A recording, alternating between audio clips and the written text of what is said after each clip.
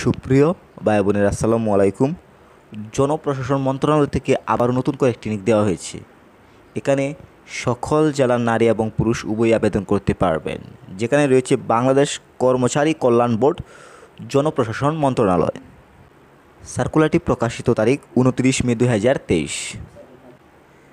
আবেদনটি অনলাইনের মাধ্যমে করতে হবে। এখানে যে লিঙ্কটি দেখতে পাচ্ছেন B double K B dot Teletalk dot com BD এই লিঙ্কের মাধ্যমেই কিন্তু আপনাকে আবেদনটি করতে হবে। আপনি যদি আমাদের মাধ্যমে আবেদন করতে চান, স্ক্রিনে দেওয়া নাম্বারে যোগাযোগ করবেন। বাংলাদেশ থেকে একমাত্র এই সার্ভিসটি আমরাই দিচ্ছি। যদি বেটার সার্ভিস পেতে চান, তাহলে স্ক্রিনে দেওয়া নাম্বারে যোগাযোগ করবেন। আর স্ক্রিনে দেওয়া নাম্বারে তারাই যোগাযোগ করবেন, যারা বেসিক্যালি কাজ করবেন। কারও যদি কোনো বিষয়ে জানার প্রয়োজন হয়, অবশ্যই কিন্তু ভিডিওর কমেন্টে যোগাযোগ করবেন। প্রথমেই আমি বয়সের বিষয়টি তুলে ধরব যে কত বয়সের মধ্যে হলে আপনি আবেদন করতে পারবেন। একজন সাধারণ প্রার্থীর বয়স যদি আঠারো থেকে তিরিশ বছরের মধ্যে হয়, আপনি আবেদন করতে পারছেন। তো বয়সের হিসাবটি করবেন তিরিশ ছয় দু অনুযায়ী। এখন আমি ধারাবাহিকভাবে প্রতিটা ক্যাটাগরি সুস্পষ্টভাবে তুলে ধরবো। একে দেখতে পাচ্ছেন সহকারী পরিচালক। এখানে গ্রেড নয় অনুযায়ী বেতন দেওয়া হবে, পদের সংখ্যা চারটি। সমাজ কল্যাণ সমাজকর্ম সমাজবিজ্ঞান অর্থনীতি, লোকপ্রশাসন, রাষ্ট্রবিজ্ঞান, জনসংখ্যা বিজ্ঞান বা নৃবিজ্ঞান প্রথম শ্রেণির স্নাতকোত্তর ডিগ্রি বা দ্বিতীয় শ্রেণির স্নাতক সম্মান সহ দ্বিতীয় শ্রেণির স্নাতকোত্তর ডিগ্রি বা চার বছর মেয়াদী দ্বিতীয় শ্রেণির স্নাতক সম্মান ডিগ্রি থাকতে হবে অ্যাপ্লাই করার জন্য। এখানে সকল জেলার নারী এবং পুরুষ উভয়ই আবেদন করতে পারবেন। দুই, সহকারী প্রোগ্রামার গ্রেড নয় অনুযায়ী বেতন দেওয়া হবে। পদের সংখ্যা একটি। এখানে উল্লেখিত যে যোগ্যতাটা দেখতে পাচ্ছেন, এই যোগ্যতা লাগবে আবেদন করার জন্য।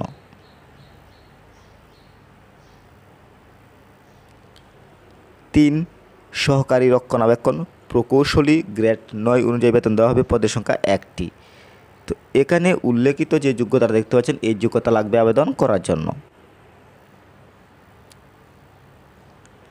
চার, পরিবহন কর্মকর্তা পদের সংখ্যা একটি। এখানে উল্লেখিত যে যোগ্যতাটা দেখতে পাচ্ছেন, এই যোগ্যতা লাগবে আবেদন করার জন্য।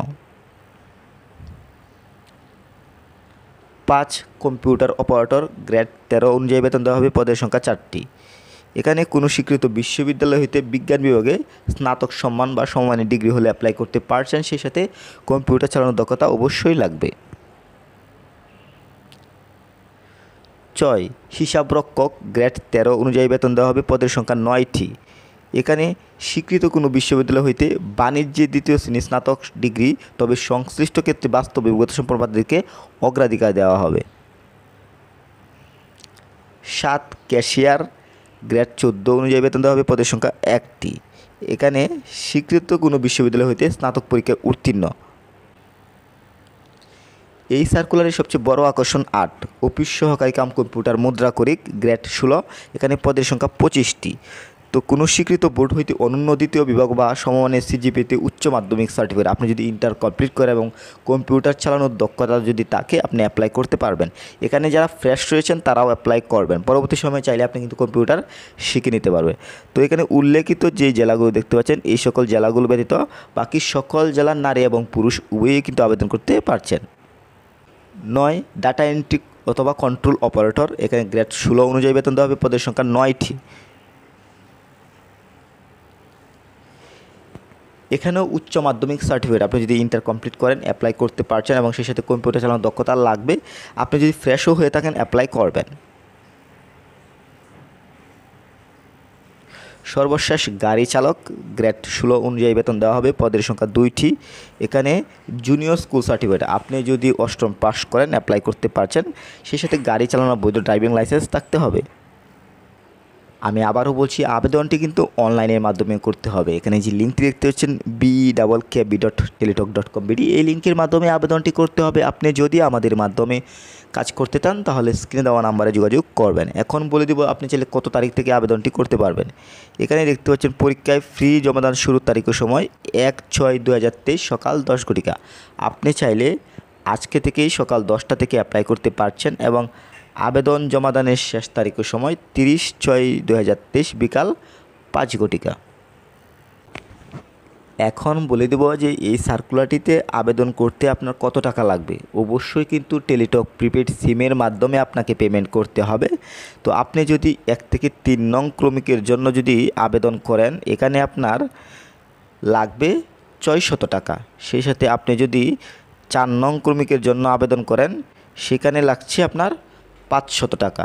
এবং সর্বশেষ যেখানে রয়েছে পাঁচ থেকে দশ নং ক্রমিকে যদি আপনি আবেদন করেন, এখানে লাগছে আপনার দুইশত টাকা। এই টাকাগুলো আপনার টেলিটক প্রিপেড সিমের মাধ্যমে কিন্তু এস করে পেমেন্ট করতে হবে।